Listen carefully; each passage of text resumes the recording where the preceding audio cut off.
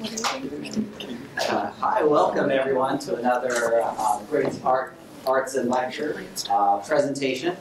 Uh, my name is Victor Tam, the Dean of Science, Technology, Engineering, and Mathematics here at Santa Rosa Junior College, and it's my honor and pleasure um, to introduce Laura Sparks, uh, Professor of Astronomy here at SRJC.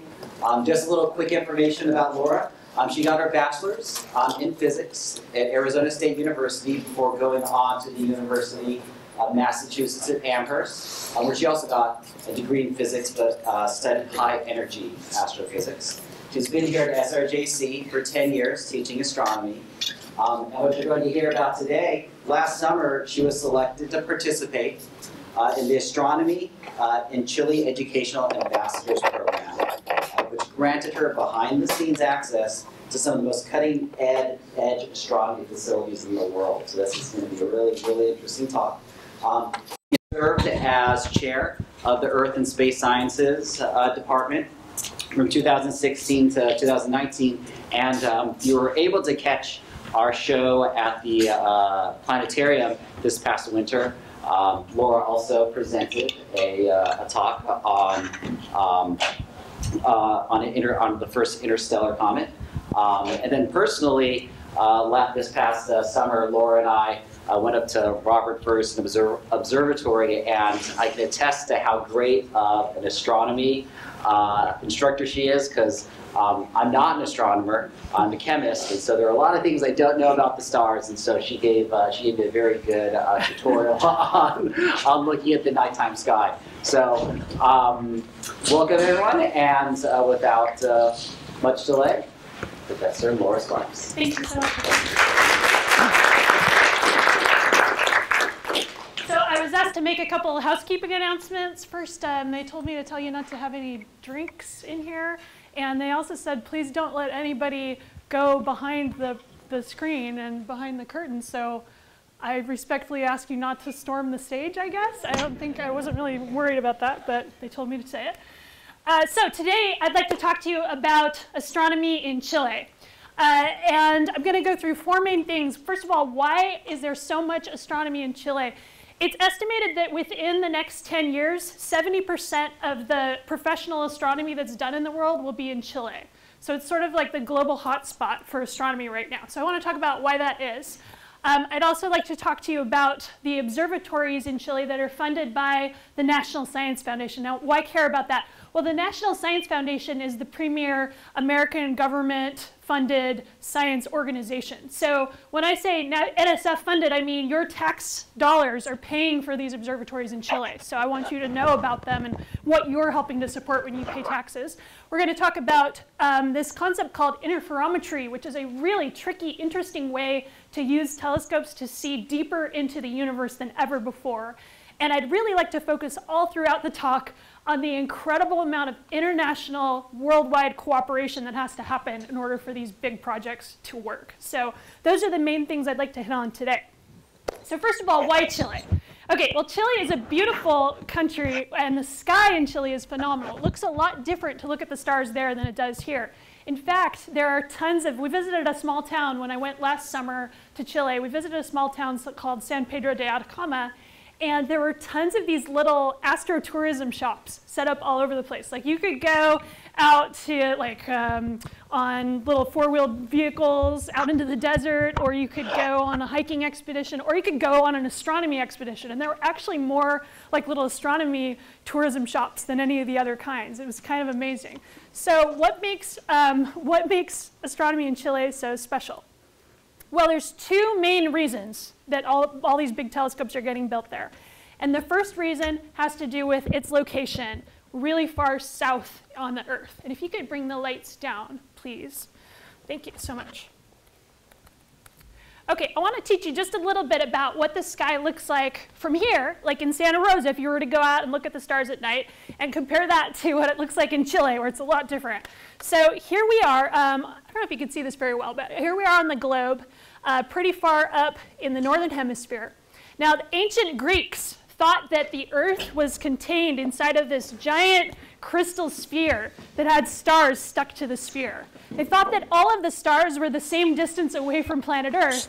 And we know that that's not true, but their model that they used to kind of visualize how things worked is still pretty, pretty good, a pretty good way to think about the sky and help us sort of visualize how the stars look. So let me bring up some stars and see if you guys can uh, recognize them.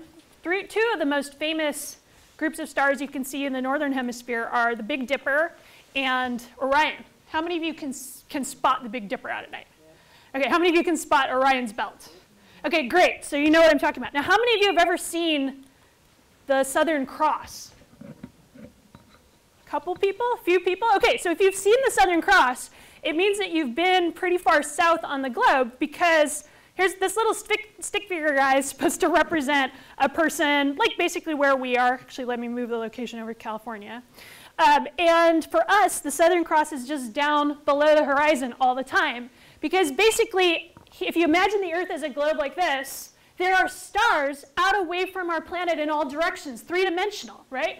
So if you're up on the northern hemisphere, you only really get to see the stars that are up in this direction in space. There's just as many stars down that direction, but in order to see them from here, you need to have tunnel vision to look all the way through the Earth to the other side of the world, because they're blocked by uh, planet Earth from us.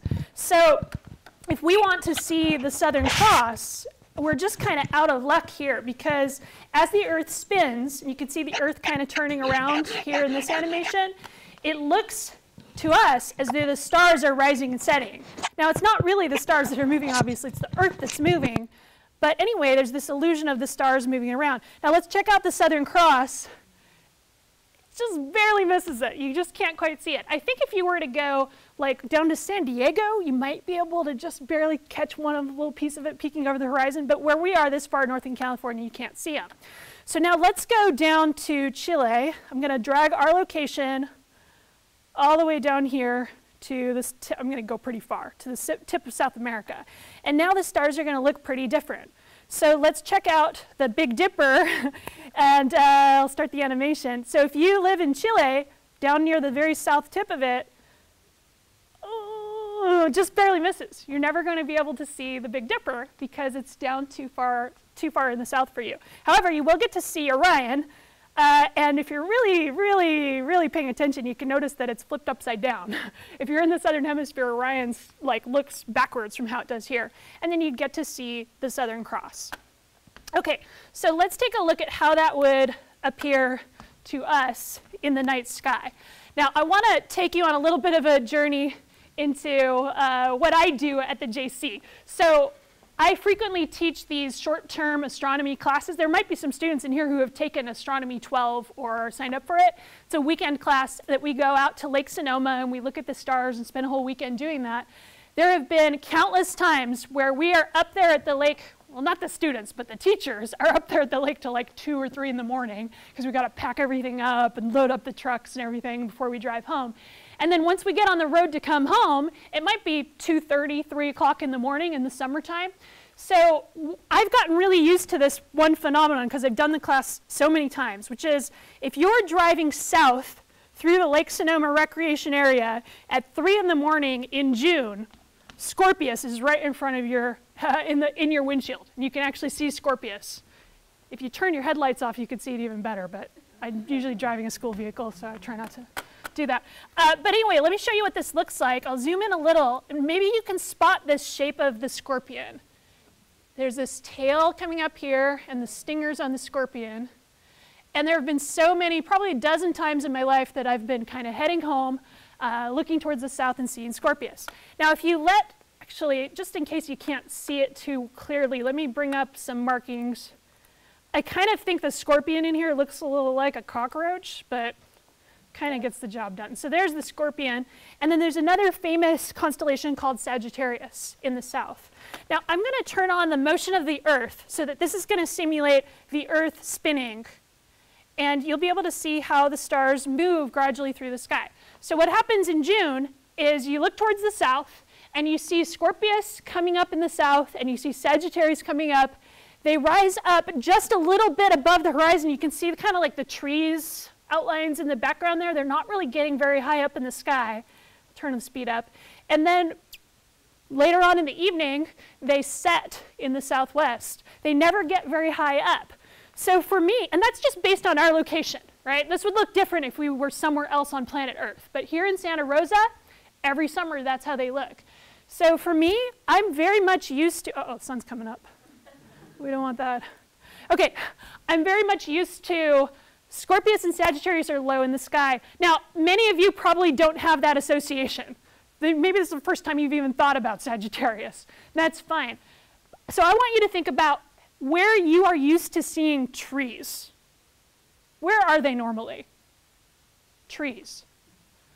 On the ground, right? Would it freak you out if you saw a tree straight overhead? Like, not just like the branches, but like a whole, you, you look up and, oh my God, there's an oak tree. Like, wouldn't that freak you out? Okay, so uh, when I went to Chile, that's basically what happened to me because uh, I'm going to change our uh, location here and take us down to Chile. Oops. Right about there. And let's make it nighttime. So we went out uh, basically about the end of July and we looked for some stars and went outside to look at the stars. And I looked into the south to try to find Scorpius. Of course, I knew it wouldn't be there, but that's where I'm used to looking for it. And then I couldn't find it, so I started looking up and up and up and up and up, and oh my God, there was Scorpius and Sagittarius, like pretty much straight overhead. And I, I know it might sound very odd to you, but I actually like cried. like I got so emotional seeing them overhead because it was such a weird thing. Um, I knew intellectually that they wouldn't be along the ground, but it freaked me out. Just like I said, like just like seeing a tree in the sky would maybe freak you out. It, it made me feel really weird. So that was very interesting. Okay, so why care about this? Going back to my main point, why do we put observatories in Chile? Well, there are a lot of really interesting things in the sky right next to Sagittarius. Does anybody know something interesting, maybe an astronomy student? I think some of you might be getting extra credit to be here, so hopefully you know something about this. What's that? Towards the center of our galaxy, exactly. The galactic center of the Milky Way galaxy is right in Sagittarius. And there's a supermassive black hole there that's about 4 million times more massive than the sun, right smack dab in Sagittarius. So if you want to study Sagittarius, isn't it better to be somewhere where you can point a telescope up at the sky and see it clearly? Instead of here in Santa Rosa, you'd have to like point it just barely above the trees in the southern horizon and catch it just a little bit in the summer. So there's just such a better view of a lot of things in the sky um, in Chile. So that's one of the big reasons that there are so many observatories there. Okay, now while I've got this, these stars up, I just want to show you one more thing um, and then we'll, we'll bring the lights back up. So let's go back to Santa Rosa because I want to give you three things to look at that you can connect to this talk. And then when you go out into the, um, it, at night, tonight, or maybe later this week when the weather's clear, um, you can go out and actually see some of th these things for yourself and then remember what you heard about in this talk. So let's bring it to today's date and make it about, oh, about 8 p.m. Okay, so I'm going to give you a list of things to learn. I want you to memorize these three things, just three things, it's easy. And then sometime this week, I hope that you'll notice them in the sky. And you'll see that and it'll connect back to what you heard today. Okay, so first of all, if you go and look in the south this evening or some night this week, you should see the beautiful constellation of Orion. Real beautiful right there in the southern sky. Can't miss it. Now, up above Orion's left shoulder is this constellation called Gemini, the twins. Some of you, that might be like your sun sign, your astrological sign, Gemini. Okay, we're going to see the word Gemini later on. So if you uh, go out this week, try to spot those twins Gemini. It looks like kind of two stick figures in the sky. And then just above, be, uh, above Orion's right shoulder is this constellation called Taurus that looks basically shaped like a V, and it's going to be right by the moon tonight. If you go out tomorrow night, the moon will move, it tends to do that. Um, but tonight, the moon will be right by Taurus. Okay, so those are two things to remember. Above Orion's left shoulder, you're going to see what? Gemini, the twins. Above the right shoulder, you're going to see Taurus. And then if you look a different direction and wait a little later in the evening and look towards the, oh, wrong way, look towards the east, you're going to see this really bright star called Arcturus. It almost looks like an airplane coming at you because the, the light from it is so bright and sort of got a reddish color. And then just in this area, there's a super massive galaxy. It's like the most giant galaxy you could imagine. And it's right there. Now, the bad news is you can't see it with the naked eye. you need a telescope. And whoa, there it is. Awesome. But then in the, in the sky, it, it looks like that. So what you can do is just point to the east and look at some random spot and go, whoa, M M87, giant galaxy, I'm looking at it. Okay, so above Orion's left shoulder, Gemini, above the right shoulder, Taurus, and then in the east, giant galaxy, super giant galaxy. Okay, we're going to come back to all three of those things later in the talk. And if you could bring the lights back up, we're done with the dark portion.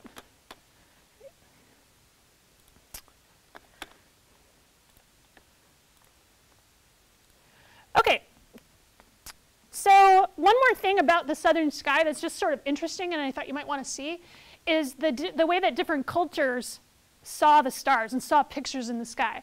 So I just pointed out to you some sort of stick figure shapes in the sky and the scorpion and the twins and, and Orion.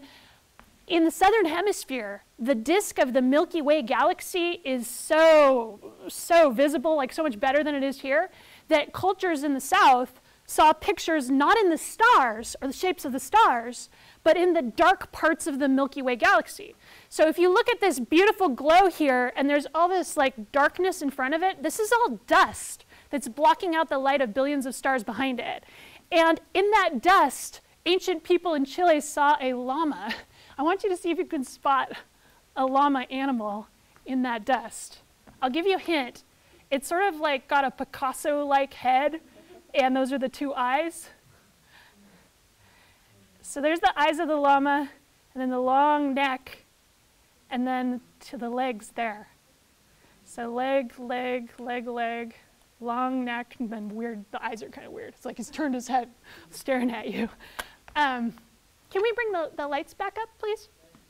Thank you. Uh, and then uh, I just wanted to show you that because you can't see that here. That's something you can really only see in the, in the southern hemisphere. Okay, so first of all, Chile's in the south, so we get a great view of a bunch of things that you can't see in the northern hemisphere. And then the second reason it's so special is that it is very, very, very dry in certain parts of it, and it has a high elevation. So take a look at this. This is an aerial photo. Well, it's more than an aerial photo, it's a space photo.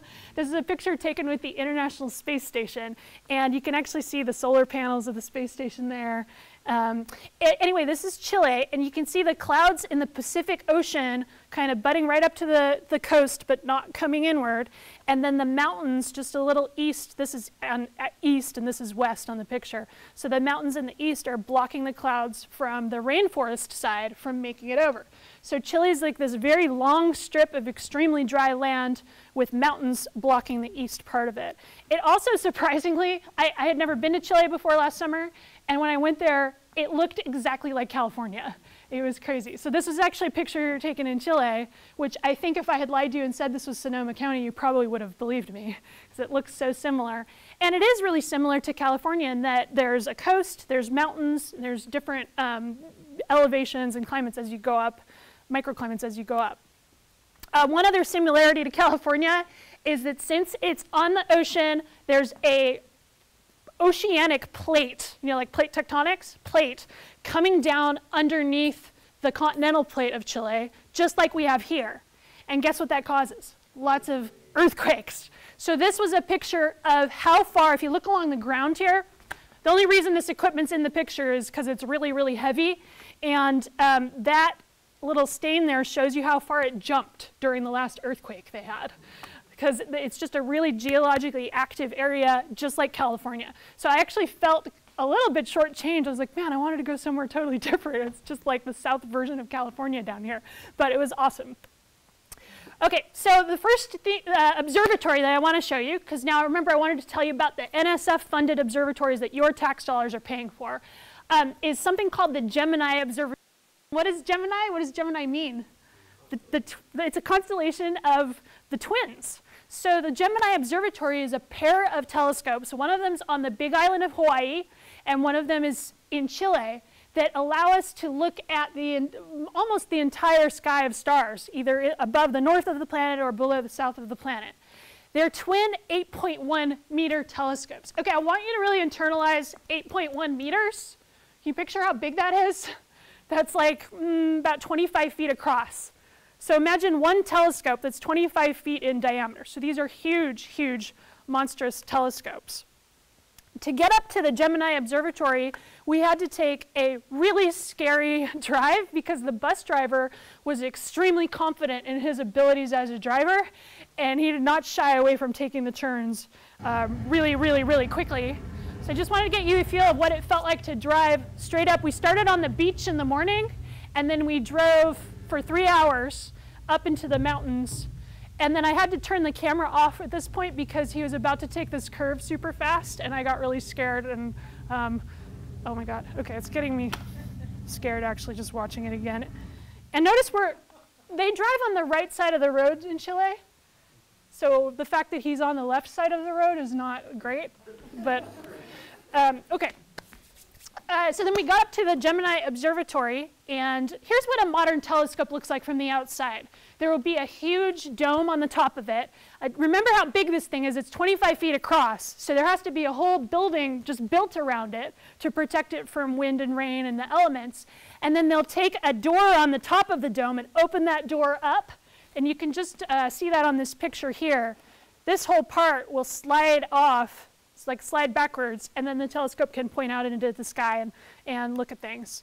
Um, there's what it looks like on the inside. So basically, this is a reflecting telescope. So this door would open up, light would come through this door. There's a huge mirror that you can't see from this angle that's right there. And the light from the mirror bounces up, hits that second mirror, and then goes down through a hole uh, in the telescope into one of these big detectors, like cameras on the back of it. So it's just this enormous piece of machinery. To do something this large in scale and this expensive, it's really hard for a single country to be able to afford it. So one of my favorite things about visiting the Gemini Observatory was seeing all the different flags that were hung there because this is a project of, I believe, seven different countries to run this thing, of which America is just one. So there we've got the flags of Korea, Argentina, Australia, Brazil, Canada, the United States, and Chile, all working together to run this huge observatory. And I loved seeing, it, this feels like a time in our history when there's so much tension between countries, and I just love seeing so much cooperation globally. Uh, the, the, telescope is an extremely complicated piece of equipment. So there was this readout that had all of this very detailed technical stuff that I couldn't quite understand. And then there's the version for dummies, was the telescope is good today. like everything's fine. I really liked that. So just to show you the sorts of things that you can see with such a huge telescope. This is a picture. It's one of the first pictures of such a small object um, of a planet around a star called 51 Eridani. So the, oops, the star would be right here, and they were actually able to take a picture of about a Jupiter-sized planet that was orbiting around that star. Now, that might not seem like that big of a deal, but here's why it's crazy. Okay, imagine looking into, you know when there's like a car dealership having a sale, they'll put up searchlights into the sky and kind of like point them around. Imagine one of those searchlights was pointed like straight at your face. You're like blinded by it. And then imagine you were trying to find or see a tiny little mosquito buzzing around outside of the searchlight. It'd be very, very difficult to see that, right? That's what a planet looks like around a star, right? Stars are so bright that the planets around them are almost impossible to see.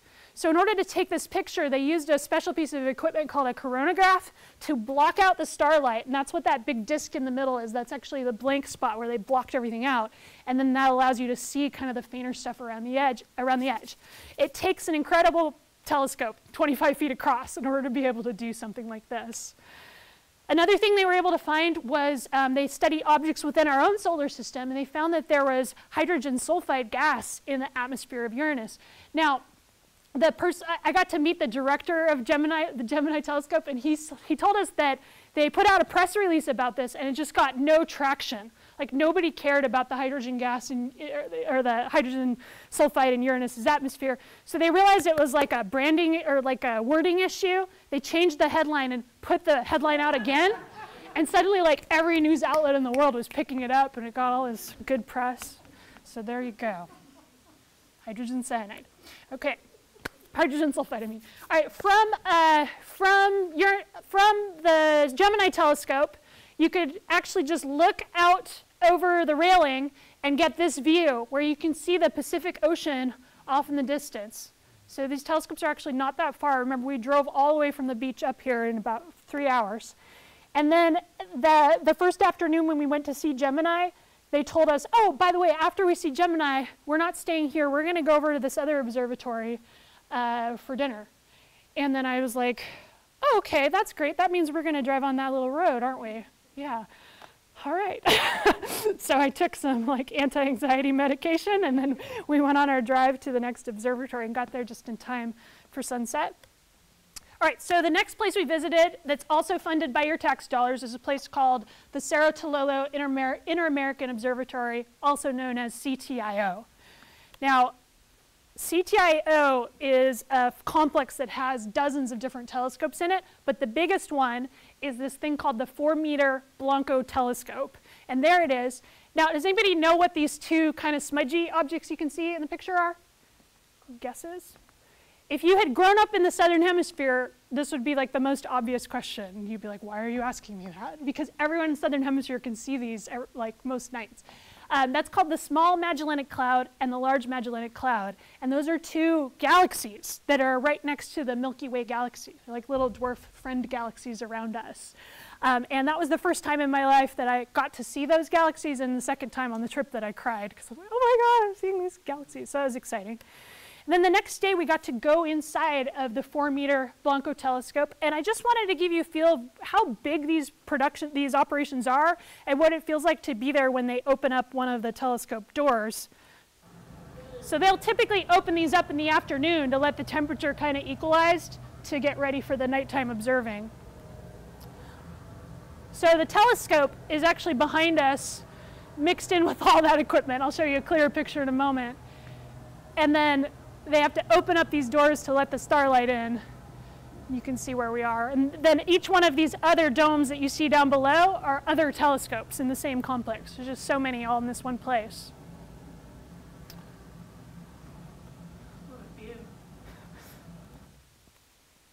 Okay, and then there's the telescope. It's a little bit smaller than the Gemini, but still pretty impressive. So let me show you how this works. Uh, the light would come in from the left, that white cover that you see here is covering the telescope mirror to protect it from dust or wind or whatever. And so the light, once they remove that telescope cover, the light would come in, hit this big mirror, and then bounce directly into that big uh, cylinder that you see there. Now that thing is about the size of a van, and it's a camera. So imagine, you know on, a, on your phone or a digital camera, the light comes in the little lens in the front, and then there's like a little tiny chip that picks up the light? That van-sized black thing is the chip that picks up the light. Um, it's called the dark energy camera. Now this telescope was one of the uh, pieces of equipment used to discover that the universe is accelerating its expansion. Did anybody hear about that discovery? It was in the news like 10 years ago. They won a Nobel Prize for this discovery. Um, and this telescope was part of that discovery. So they've put this giant camera on there to try to track exactly how much the expansion is accelerating today and do kind of like follow-up measurements about that. Okay, so let's talk about the difference between some different telescopes. It turns out that the size of a telescope is important because that determines how clear the details are going to be in any picture that you try to take. Another way to say that is the surface area of a telescope, like how much surface there is to the mirror or the lens that it uses determines how clear the resolving power of it. Now, the Hubble Space Telescope is very famous. How many of you have heard of Hubble? How many of you have seen a Hubble picture? Right, pretty much everybody. And a lot of people think, oh, Hubble must be like the biggest telescope because it's so amazing. Hubble's pretty big. It's two and a half meters across. Let me march that off for you so you can see. Starting here, two and a half meters would be about like, about like that. So the mirror on Hubble's that big across. It's hard to put things too much bigger than that up in space because it's expensive to launch things on rockets. Um, but anyway, that's the size of Hubble. The Blanco 4 meter telescope that I just showed you is about like that. Can you picture how big Gemini would be on here? It's about twice as big across. So Gemini actually, just one of the Gemini telescopes has about nine times more surface area, or about 10 times more surface area than the Hubble Space Telescope. So it's a big monster. Now, it turns out that the type of light that you look at also affects how much detail you can see. All of these telescopes look at visible light, the same as what you see with your eyes. But you can also use a telescope to look at radio waves. And radio waves have a very long wavelength. So that means if you want to see something clearly in radio waves, you need a way bigger telescope. So the last place that I'm going to show you, the last observatory, is um, uses a different kind of light that has longer wavelengths, so the, the telescopes all need to be bigger. So here's a 12 meter antenna dish that's used at a place called ALMA, and let's take our journey to ALMA. Okay, now, why does the ALMA observatory use this different kind of light? Well, take a look at this diagram. It shows you how the Earth's atmosphere blocks different wavelengths. The higher up on the graph this line is here, the worse. Like that means that light of that type is getting totally blocked out by the sun. So this diagram is showing you that X-rays, gamma rays, and ultraviolet all get blocked out by the by sorry get blocked out by the Earth's atmosphere. Um, that's good. I mean, we don't want ultraviolet light getting in because it gives us a sunburn, it gives us skin cancer. What about X-rays? Even worse, it always cracks me up when you go to the dentist and you get a dental X-ray taken. What do they do before they take the X-ray? they put they put like lead shielding around your body, right? And then what did you say somebody said? They run. They get out of the room. like ditch you in there with the x-rays. Like it always cracks me up that you just get abandoned in this danger. It's not a big deal because, you know, you don't get very much of a dose, so I don't want to give anyone a phobia about going to the dentist. It's, it's fine. But, uh, but good news for us, the Earth's atmosphere blocks almost all of the x-rays that come from space. However, the atmosphere does not block visible light, right? Visible light makes it straight through. That's why we can see the sun. That's why we can see stars. But most of these other wavelengths also get blocked except for radio waves. Radio waves also make it straight through. So there are a lot of radio telescopes built on the surface of the Earth just because you can actually see the radio waves from space because the atmosphere doesn't interfere with them too much. Now, the telescope we're about to go to works in the range of one millimeter to one centimeter wavelength. So let's take a look on this chart. Do you notice that one millimeter light gets almost entirely blocked by the Earth's atmosphere? So it seems sort of crazy to build a telescope to try to look for that when it's all going to get absorbed and never even makes it down to the surface of the Earth. So that's the reason why if you want to look at one millimeter light, you got to build your telescope way up high, like 17,000 feet elevation, up above most of the atmosphere, and you got to build it somewhere incredibly dry because water vapor in the atmosphere is one of the main reasons that it absorbs so much of this light. So we're going to visit a place, one of the highest places in the world and one of the driest places in the world because that's really the only place where we're going to be able to see light of this wavelength and it won't get too much blocked by the atmosphere. Now to go up very, very high, a lot of people are prone to altitude sickness. So the day before we were about to leave, the hotel we were staying at offered us this, anybody want to guess what that is? Coca, coca leaves, right? Basically like what cocaine is made out of, coca leaves, which are legal in, in, um, in Chile. I really wanted to try them, but they told us we were going to have a blood pressure exam right before, and if we took the coca leaves or any form of cocaine, we probably wouldn't pass the blood pressure exam. So I passed on the, on the coca leaves. But then we drove up, uh, started at about 8,000 feet that morning and then drove up to 10 or 11,000 feet past some vicuñas and other interesting wildlife on the way up. And then when we actually got to the telescope site, it looked like another planet. This looked like Mars to me when we arrived. It was so dry that everyone on the group was having their finger, like the skin on the back of their fingers cracking and their lips chapping and no amount of lotion could fix it. It was just so dry. It was like sucking the moisture out of your body. And uh, it was so high up that they gave us supplemental oxygen tanks because there wasn't enough air to breathe without getting sick. So we all had oxygen tanks uh, going up there. Okay, so the, all, the word Alma stands for Atacama, which is the name of that desert, the Atacama Desert. Large, because it's big. Millimeter, because that's the type of, type of light it looks like. Array, which is a group of telescopes. And it's really good at seeing dust and gas now, why would you care about dust and gas? Well, dust and gas is what's around newborn, newborn stars. So if you want to see a planet being born, you want to look at dust and gas. And it's also what's around black holes. So if you want to see around the edge of a black hole, you want to look at that too.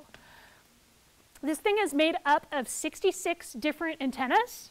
Some of them are 12 meters across, some of them are seven. And it uses a principle called interferometry.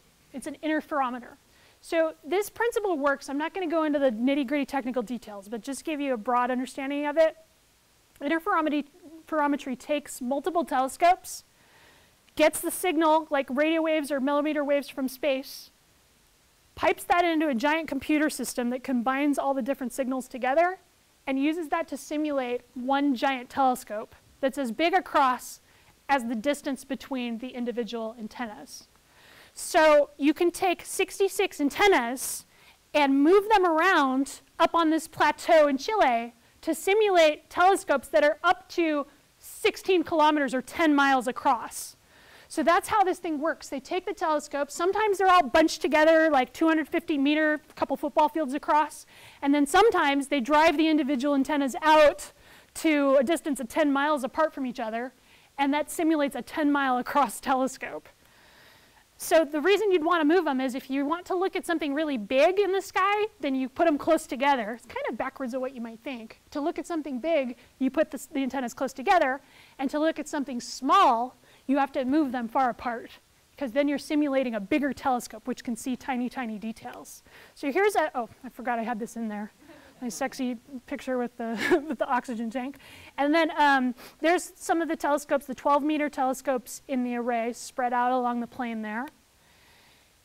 And this area where I'm standing, that's actually one of the small telescopes. That's the seven meter smaller telescope. The big ones are 12 meters. That's right in this little area. If we zoom out, this little road coming in here and that shape, that's this right here. And then each of these roads is a path where they would drive the telescopes out to their different locations. The telescopes are so big and heavy that they, have, they, they had to build these custom vehicles with like 14 wheels on the vehicles uh, to drive them around. And to move from one, they go through 10 configurations every year. Like they'll start out with them close together and then they'll spread them apart throughout the year. It takes about three weeks to go from one setup to another because they have to individually load each of these gigantic multi-million dollar precise pieces of equipment onto one of these vehicles, drive it out to its new spot, drop it off, and every one of them has to be located to within a precision of less than one millimeter in the right spot in order for it to work. So that means if, if one of those wheels turns half, you know, half a degree too much, they're in the wrong spot. You have to like move it. It's kind of insane that this works. I like I can't believe that it works. And there, if we zoom out even more, that whole little lot that I showed you was right there. And then they have little roads that go all the way down to here and here and then back to here and back to here. So they'll take the telescopes and spread them out over this huge 10 mile area. Here's a quick little video to show you what that sort of, it's just an artist rendering of what this looks like. So basically when the scopes are spread out, the distance between the scopes, or the antennas I should say, um, shows you how big of a telescope they're simulating. So all of these together are essentially working together to act like a telescope with a mirror that big. Right? So you're making one big telescope out of this array. It's kind of incredible. Okay, so this is, needless to say, this is incredibly complicated, but you get some amazing stuff out of it. So do you remember I told you above Orion's left shoulder was Gemini, above his right shoulder was Taurus. If you go out and look at Taurus and look in between the two brightest stars in Taurus, there's a, a, a star there called HL Tauri. And around that star, there's a new planet system being born. Like new planets are in the process of being born right this moment. And this is an actual photograph of the dust around that star forming into planets. All of the gaps, like the dark spots that you see, are places where maybe there's a planet that, or starting to be born that's sort of disrupting the dust. This is what our solar system looked like uh, a few billion years ago, before the planets existed. And we always thought that's sort of how it happened, but this was the first photographic evidence. And in order to get something like this, you have to build that crazy interferometer giant system, because otherwise there's no possible way to see so much detail. So this is one of the amazing things we were able to see with ALMA. Now, ALMA is just a totally unprecedented international project. Its uh, primary members are North America, Europe, East Asia, and Chile, all working together on this thing. It costs billions and billions of dollars to do. But even that is not big enough to see to the middle of a black, or to, to the edges of a black hole. Black holes are the smallest, most compact objects, and uh, they're incredibly difficult to take pictures of. So difficult that until last year, no one had ever taken a picture of the disk of matter, uh, sorry, of the, of the shadow cast onto the disk of matter around a black hole. No one had ever been able to do it. So in order to take a photo like that, you remember that big old simulated telescope I just showed you? Not even close to big enough. No way. The detail you need to see to look at a black hole is way smaller than that. So I'd like to take you to the main theme and the one thing I want you to take away from my talk today, which is in order to see deeper into space, you need a bigger telescope, but not just bigger in its diameter, bigger in its, I want to say, its imagination, in its courage, and the audacity to even try it. You got to think so big that you involve the entire world in your project and work together in order to do it. So last year, there was a group who decided they wanted to look at the center of the M87 galaxy. That's the one where I told you just look out to the east, find some blank spot, and imagine, okay, that's where that huge galaxy is. So this is a giant galaxy with billions and billions of stars in it. And do you see that yellow? Anybody know what that yellow blob is in the middle? That's just the composite light of like billions of stars that are so close together that they're shining almost as one from our point of view. Right in the middle of that, there is a supermassive black hole that's so unstable that it's causing this giant jet of material about 5,000 light years long to blast out of its um, out of its center. And it's just an amazing object. So they wanted to take a picture of what's at the middle of this thing. In order to do that, they built a telescope that was this big. So they took the array of telescopes that I showed you and hooked it up together with um, radio telescopes all the way around the world and you remember how that picture looked, like a big circle encompassing all the telescopes? So by doing this, they created a simulated telescope the size of our planet. And that's finally big enough to see a black hole. And so we got this picture last year, the one on the left. That's the first ever photograph of a black hole, no longer a theoretical object, like we have photographic evidence that they exist. On the right, that shows you if ALMA, the thing that your taxpayer dollars are going towards, if ALMA hadn't been part of the collaboration, they wouldn't have been able to get the picture. The picture would have looked like that, and you wouldn't have been able to see the black hole. So I'm super grateful that we work together with ALMA and we help support it. On, the last, on my last day at ALMA, we got to meet the director of the observatory. He's uh, the one right here. Might not seem that impressive to you, but to an astronomy geek like myself, that's like meeting the NFL commissioner, like getting to have lunch with him. It's kind of crazy. I mean, he oversees a insane budget, international collaboration, just crazy thing. So I got to ask, I, I got to ask him a question, and I asked him, if I was going to go back to people in America and talk about your observatory, what's the one thing you would want me to tell them? And he said, I would like you to try as best you can to convey to them just how insane this project is and what a big deal it is that we actually got all of these countries to work together and made it work.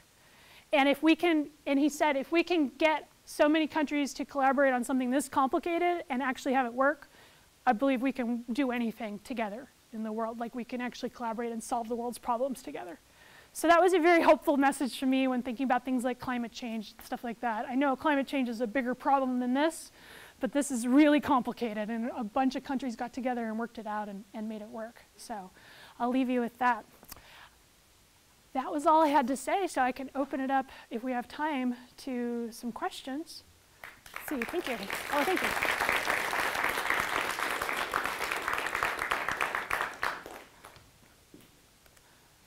Any questions?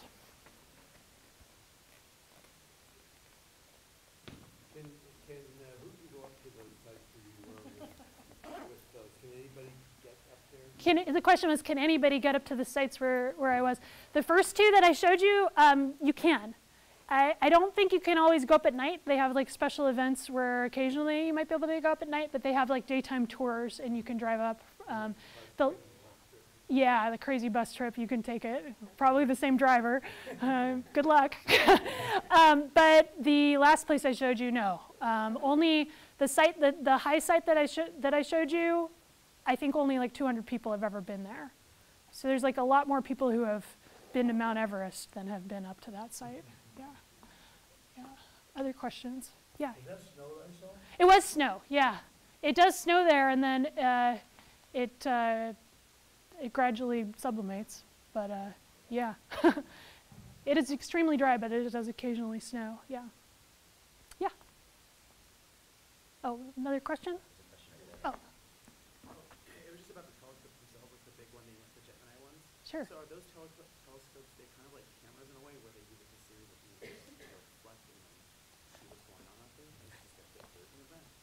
It is sort of like that, yeah. It, it's basically um, a honeycomb style mirror, I believe. Actually, no, I'm not sure. But it's a big, huge mirror.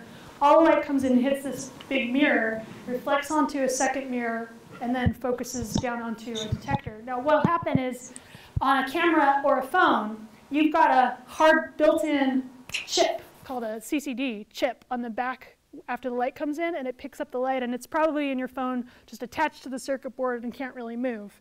So on the Gemini telescope, there's this system of mirrors to direct the light to the chip, but then instead of a chip, there's a hole, and then there's like six different giant, like, um, imagine a really big table stood upright.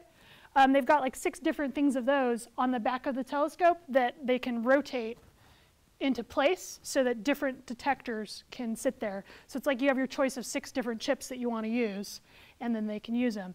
And then throughout the year, they'll pull those off and put different ones on. So some of them are picking up infrared light, some of them are picking up visible light, some are for that like planet finding, and they're all optimized for different things. So it's like the, the, the mirror part works pretty similar to just a normal telescope, but then the detector is crazy complicated, and there's lots of different ones on there. Any other questions? Yeah, one more. So how did, how did you get involved with the, the Chile Ambassadors uh, educational program? How did I get involved with Yeah. the Chile Educational Ambassadors Program? Yeah.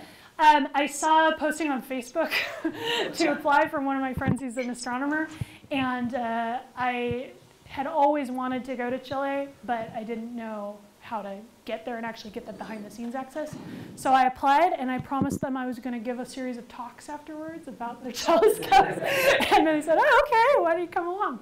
So they, they chose me to go with them. It's actually a competitive process, um, and I think eight people were selected to, to go on the trip this year. Yeah. Okay. Yeah, one more. Do people live there? Like it seems really far away. That's a great question. there. Yeah. Um, so the question was, do people live there? It seems really far away. So at the one at the top, um, they have crews who work. There's 200 people that work at the observatory, and they come up in shifts. So they most of them live in Santiago, which is like an airplane ride away, and some of them live in the town that's like a few hours drive away, San Pedro de Atacama. Um, but what they'll do is they'll come up for like either a two-week shift or whatever they've got worked out for their schedule, and then they'll go back home to Santiago, and someone else will come up to take their place. They've got like a dormitory there, and people kind of hot bunk where it's like one guy lives in this room for two weeks, he shoves his stuff in the closet, goes home, and the other guy comes in and uses the same room. I actually met a person there who lived in Scotland and was working at the observatory. So he would, and he had a young child. So he would come for four weeks to work, and then he'd fly home to Scotland for four weeks, and then he'd come back for four weeks to work again. He said he was having a little bit of stress in his marriage. I said, that sounds about right. That sounds like a crazy, crazy thing. So yeah, it's a really weird situation. But that area of Chile has some of the biggest mines in the world, like copper mines and metal mines. And there are a lot of workers that are like that um, who go up to the mines for a few weeks and then go back home. So it's sort of something that in Chile is, there's already a sort of system in place for living that way. There's a lot of people who live that work that way. So it's not as unusual as it would be here. Although I still think it's really, really weird and seems stressful. Yeah. All right, other questions? Yeah, what question? Is there a chance that in the future we would send telescopes uh, into orbit around the, the sun to get a larger, like, dish area to take more detailed pictures? That's a great question. I don't know of any plans like in the works to actually do that, like like that are funded or have formal proposals, but I know that people are thinking about that, and for sure, I think there's a possibility. I would love to see us plant telescopes like on the moons of the outer solar system or something like that, and uh, and build like do a simulated telescope that way. It would be really complicated though. Like part of the reason that it works uh, now is we can take all of the data and combine it pretty easily. And I forgot to say that, but if you go back to the well, if you go back to the Event Horizon telescope, that picture of the whole world, the way that they send the, combine the data, it turns out there's so many terabytes of data, it's insane that the fastest way to transmit the data is to load it into big boxes full of hard drives and put them on private jets and fly them around the world um, to a central data center. So it would be incredibly difficult. The hardest part of doing what you're suggesting would be the data transmission because um, a lot of the scopes that we have out there, or um, spacecraft that we have out there now, there's a real bottleneck. Like they'll set, they've got their little antenna that they use to transmit stuff back to Earth and their little battery that's probably solar powered and takes hours and hours to send pictures back to planet Earth. So getting enough data to combine it, that I think would be the hard part. Maybe they could use like laser encoding or something like that, but yeah. Yeah, it's, it's certainly something to think about. It's just a technical challenge how to pull it off. All right, well, thank you so much for coming. Appreciate it. Have a good day.